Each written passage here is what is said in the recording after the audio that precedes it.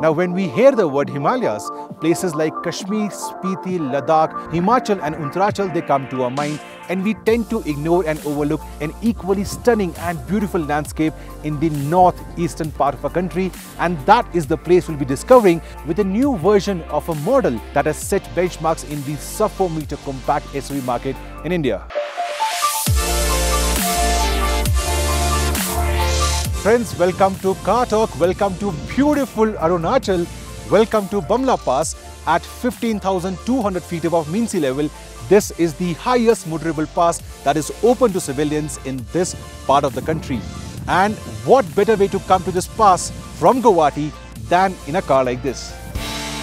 Our journey from Guwahati started two days back when we took the keys of the new Thunder edition.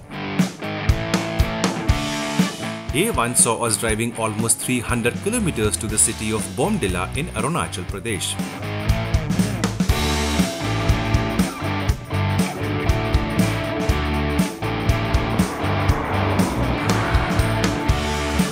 We took the shorter and far more scenic route once we crossed over the mighty Brahmaputra.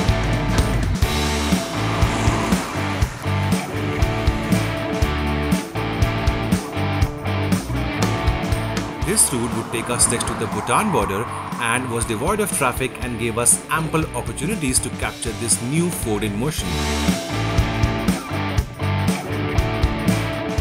The drive took us about 7 hours and thanks to a late morning flight, we entered Bomdila post sunset but we were welcomed by light showers.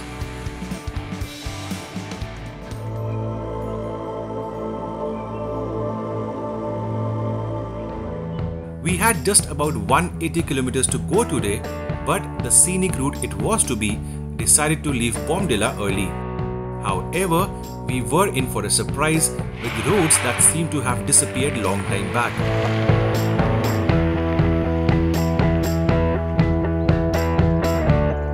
Nevertheless, the thunder took all this by its side and we were soon greeted by lovely twisties and tarmac. This part of the country was beginning to immerse us with beauty. By early noon, we had scaled the first pass of the trip.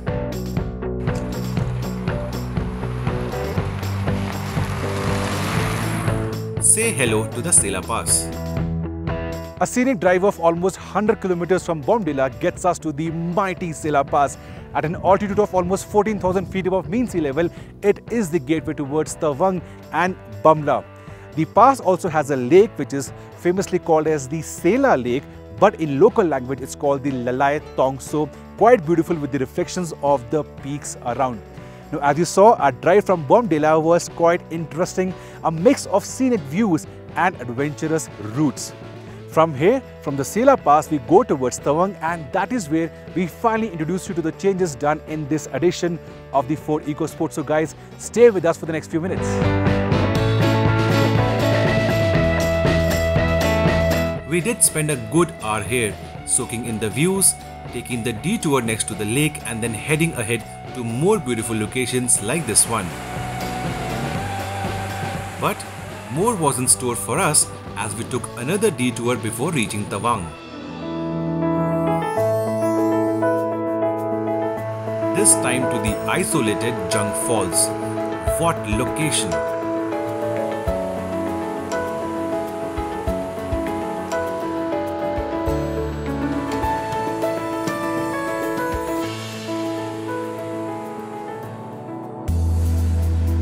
Situated at 9000 feet above mean sea level, we woke up to beautiful views of Tawang the next day. This place is famous for the Tawang Monastery and this is where we headed to for taking blessings before driving towards the Indo-Chinese border.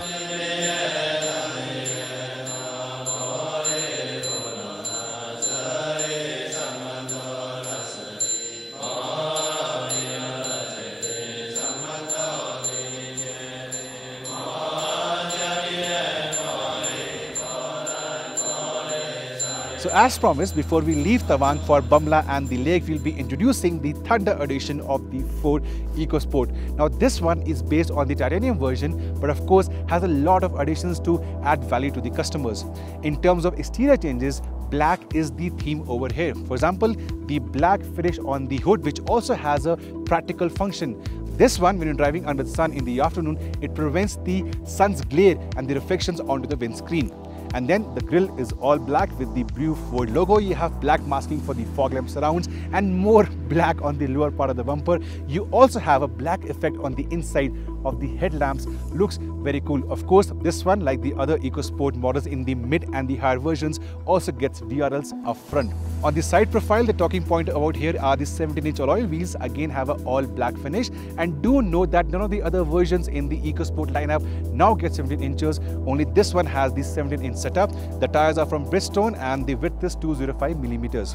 There is also black effect for the side mirrors. You have black sticker work and thunder embossing on the side cladding. The roof of course is all black, there is a sunroof and at the back there are two main talking points.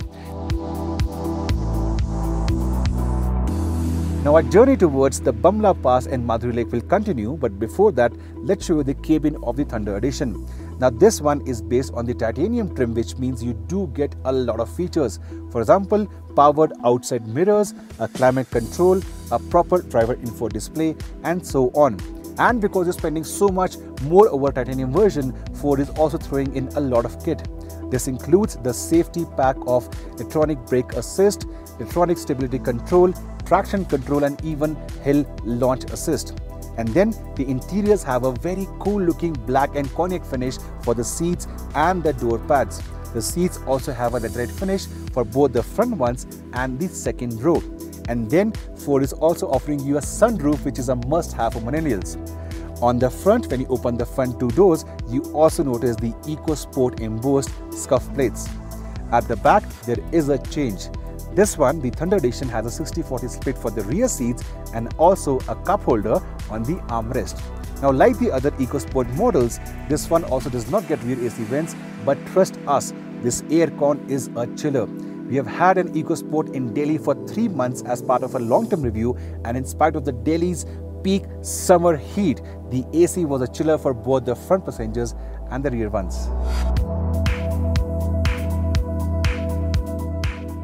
Now in terms of the powertrains on offer, there is no change. The Thunder is available with a choice of two engine options, a 1.5 petrol and a 1.5 diesel, the one we're driving right now.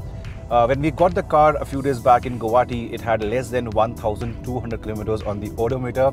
A brand new car and yet the gear shift action, the clutch action is really nice. Now this engine is known for its superb NVH levels, the noise, vibration and harshness levels and that remains unchanged. In fact, in normal driving scenarios with the windows up and the AC running, it's hard to tell if it's a diesel motor under the hood. It is that good. The engine is also known for its seamless power delivery. There is no turbo lag, no rush of power coming in like some of the other rivals. And this makes driving on hilly terrains a very pleasurable uh, experience. In fact, uh, there is no, uh, no dearth of torque or power available. There is enough ample poke in the engine. So yes, in terms of uh, engine and the performance, it, it is sorted. Dynamically, there is a bit of a change. Now, the Thunder Edition is the only version in the entire EcoSport lineup to now offer you 17-inch alloy wheels. The other models have 15 inches or 16 inches, but this one has 17-inch alloy wheels. Uh, these add to the handling bit, especially when you're going around long frame corners like this one. You get some extra amount of feedback coming back from the steering, but of course at the cost of ride quality. I do agree that potholes, undulations, you know, broken tarmac, you can feel them easily and you have to take it easy on such terrains. But that's a small payoff for what offers you better handling than the other models of EcoSport. And these also look bling on the outside. Bum La is about 40 kilometers from Tawang and though the first half greets you with good tarmac, the last 15 kilometers are tough and treacherous.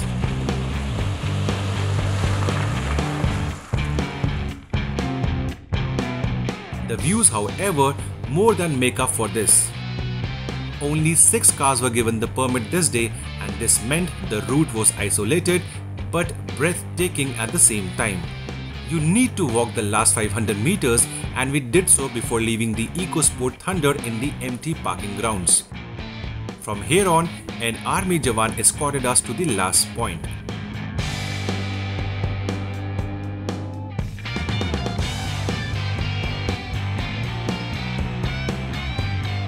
So we finally come to the last point where Indians are loud. Behind me is the Chinese territory. This is the Bum La Pass, 15,200 feet above mean sea level. It doesn't get better than this. With the naked eye, I can see the camps which are under the Chinese control and around here is where the war of 1962 happened. Of course, the EcoSport, the car that got us here is in the parking lot, not allowed to be taken at this point. Uh, the feeling is very great. You, the, the patriotism comes out, you have goosebumps on your arms. Lovely place, but the journey goes on. The video will go on. So guys, stay with us for the next few minutes. Yes, the journey indeed had to go on because we had another northeastern marvel ahead of us, the Madhuri Lake.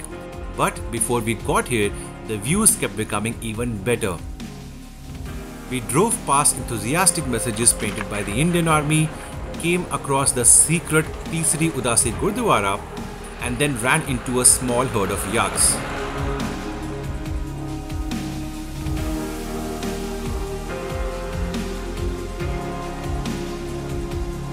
Moments later, the day finally came to an end.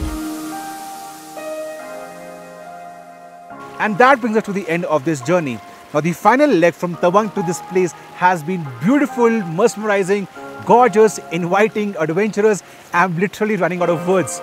There were no roads, but the views, the views around were simply, simply breathtaking. And of course, our experience, our meet with the pastoral and his herd of yak, that was something I will never ever forget. Anyways, back to the car, the Ford EcoSport Thunder Edition. Now this one can be used for 10.18 lakh rupees ex-showroom Delhi for the 1.5 petrol or 10.68 lakh rupees for this one, the 1.5 diesel, the one we have been driving for the last few days as an overall package for a car that provides you good dynamics, looks beautiful, stunning, muscular, and of course, the interior fit and finish quality I think is difficult to match the Thunder in the segment of premium sub 4 meter compact SUVs. From us at CarToq, it's a big thumbs up to this new version. Now, what do you feel about the Ford EcoSport and the Thunder Edition? And of course, what do you feel about beautiful Arunachal? Let us know in the comment section below, guys. And of course, to continue to watch such videos from the Indian automotive industry, you know what to do. Subscribe to our channel.